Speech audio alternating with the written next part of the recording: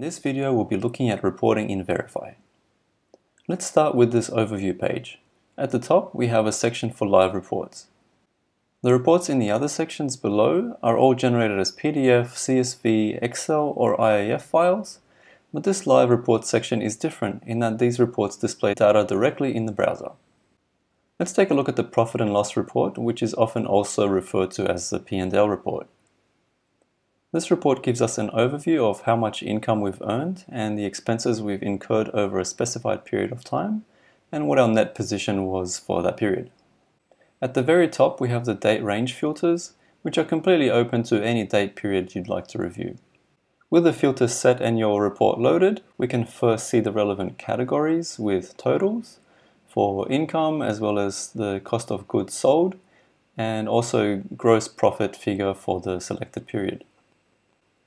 Next, we have the expense categories we used in the time period and finally the net income.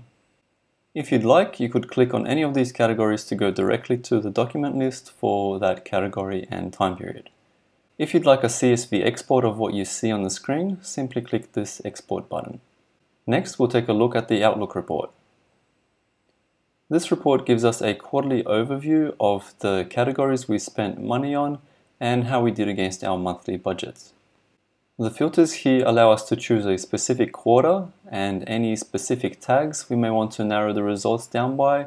And if you're an admin, you can also limit by a specific team member or just load the report for the entire team. As we can see in this report for Q4 of 2018, in December we went over our budget in the COGS category, but overall we're still under budget for all three months. Over on the left are trend lines for each category over the three months. This can be very useful for spotting anomalies in spend. Let's now move on to the job costing report. This report is incredibly useful if you're breaking down your time and materials expenditure by job cost codes. As with the other reports, we have some filter options at the top, including an open date range. We can also limit to a specific customer or project, choose whether to include documented income and expenses, and also timesheets if your team is subscribed to the timesheets product. Admins also have the option to limit the report to a specific team member or the entire team. With the report loaded, you'll see a breakdown for each job cost code with an itemized list of all the time entries as well as documents marked with that job cost code.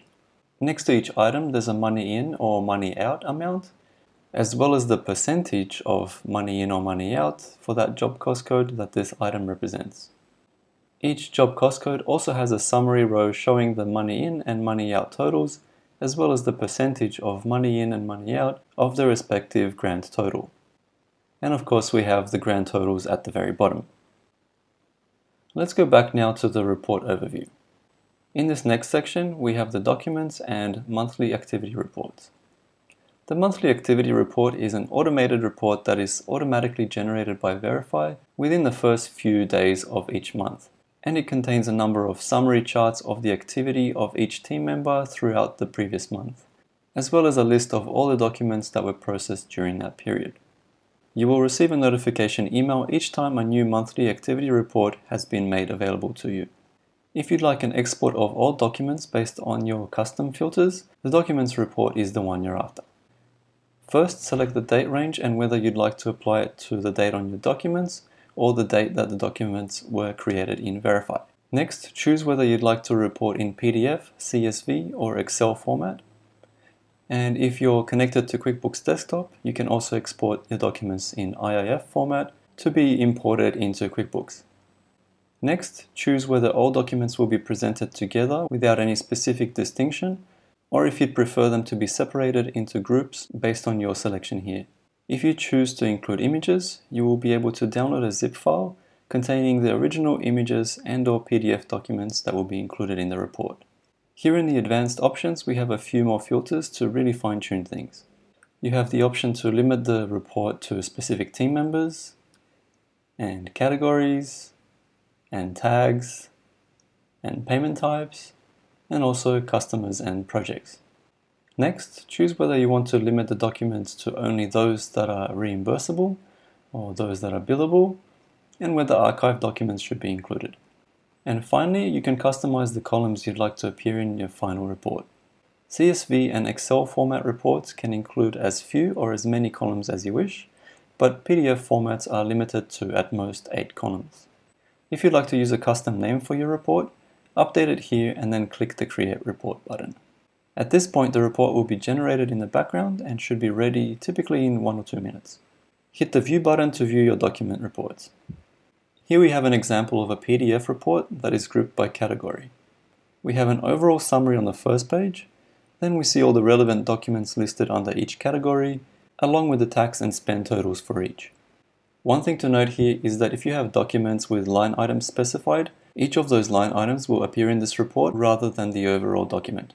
At the bottom we have the original document images, first in a smaller version, and then the larger version. If you enabled the Include Images option when creating your report, you will see this zip file icon next to your report. Click this icon to download the zip file. If your team is subscribed to the timesheets or logbook products, you will also have access to the corresponding reports here. These last three reports work in a very similar way to the Documents report. Simply click the appropriate Create button, choose your filters, click the Create Report button, and then download the report once it's ready. If you have any questions, comments, or feedback, please email us at support at veryfi.com.